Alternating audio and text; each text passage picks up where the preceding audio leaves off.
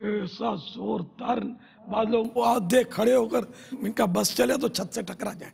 ऐसा यूँ नारा लगाता है। अरे अल्लाह के बंदे, आसपास देखो, कोई मरीज़ बैठा होगा, कोई बेचारे के कानों का वैसे पर्दा कमज़ोर होगा तो वो कहीं फटफटा ना जाए। तो दावत इस्लामी नारा लगाने वालों की तहरीक नहीं है। दावत इस्लामी अमल करने और अमल करवाने वालों की तहरीक है। जो नारा शरीयत के मुताबिक हो, वो नारा लगाना जायज़ है। लेकिन हर चीज़ का एक मैार होता है। अल्लाह का ज़िक्र करना है है ना? तो बाज़ों का अल्लाह का ज़िक्र, अल्लाह अल्लाह अल्लाह जब मजमे में करते हैं ना तो बाद इतना वो हिलाते हैं कि इनकी सुबह गर्दन दुख जाती होगी।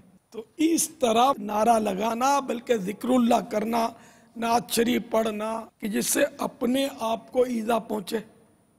या दूसरे को ईजा पहुँचे। इसकी शरीयत में मुमानत है। इस तरह ज़िक्र करना। मकरू लिखा है। ये नारा तकबीर। अगर मौके से लगाया जाए ऐन शरीयत के मुताबिक दुरुस्त मखारिज के साथ तो ये भी इबादत है। कार्य सवाब लेंगे। दुरुस्त मखारिज के साथ लगाए ना रे तकबीर बोलते हैं। नून अलिफ जबर ना। नार माने होता आग। नारे तकबीर। माने तकबीर की आग। अब बता आपको आज पहली बार सुना ना, ये सब सीखने जाता है। मदरसतुल मदीना में जाएँगे, पढ़ेंगे, मखारिज दुरुस्त होंगे, फिर थोड़ी अक्ल होगी तो फिर तरकीब बनेगी। नारे रिसालत नवजुबिल्ला रिसालत की आग। ये नार नहीं है, नार माने तो आग होता है। आइन है बीच में आइन फिर वो नार ए, हमजा के नीचे जेर आएगा। नारे नहीं, नारा ए तकबीर। नारा ए रिसालत। इसकी प्रैक्टिस करनी पड़ेगी। चलो, आज आपने दुरुस्त लिखना है दस मरतबा।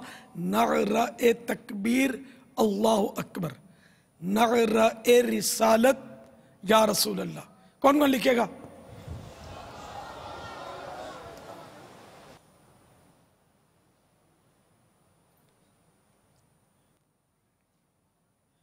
तो इस तरह लगाएँगे नाराए तकबीर।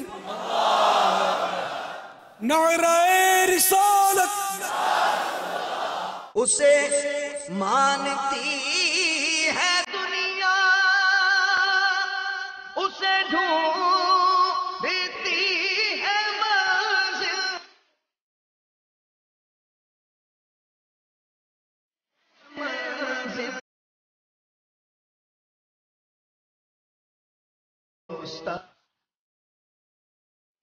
जो ला चलना